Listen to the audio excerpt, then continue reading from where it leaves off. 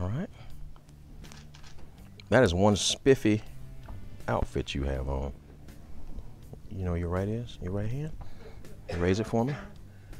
I'm now swearing you in as an honorary junior deputy. You good with that? How old are you?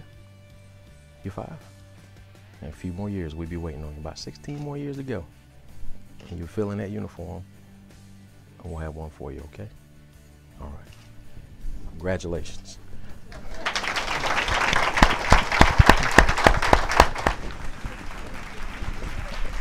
Coffee time, man. Coffee time.